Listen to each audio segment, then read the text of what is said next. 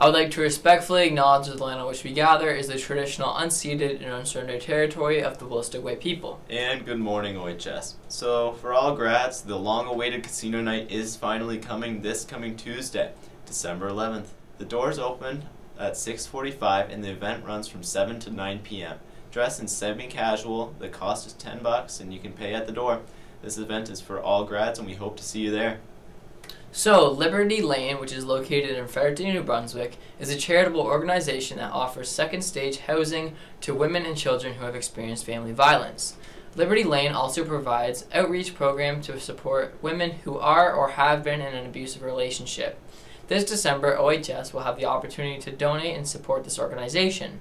So, over the course of the month, each AP will receive a box for items and container for money or gift cards. A list of items will be provided to your AP teacher, and it's encouraged that you look over that and start bringing items in, as this is a great organization to support.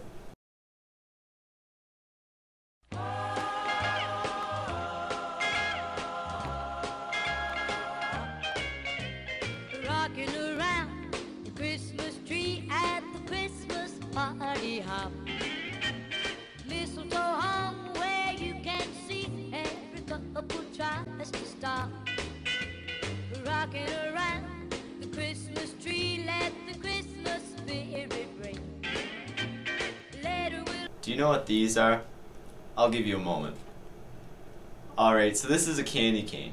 It's a cane made out of candy. Revolutionary. You can buy these at, for your friends all next week in the cafeteria lobby. Yes, candy cane grams are back. They will be for sale for $1 from Monday to Friday.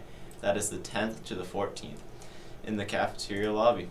This year you will have the choice and variety of flavors of candy canes. Be sure to come and buy a gram as all proceeds go towards Liberty Lane.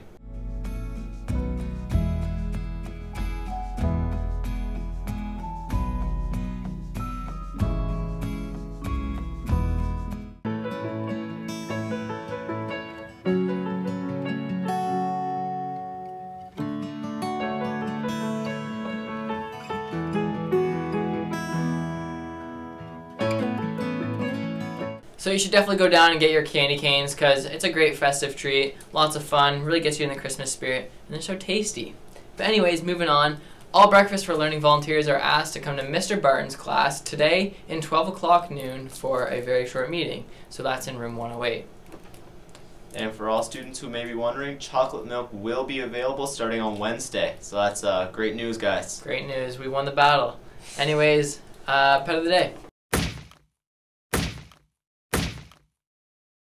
Alright, so for pet of the day today, we've got Jenna Lockyer's dogs.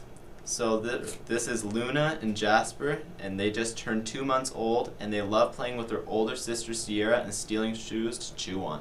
So thanks, Jenna, for that, and that's all we have for today, OHS. Have a good day, OHS.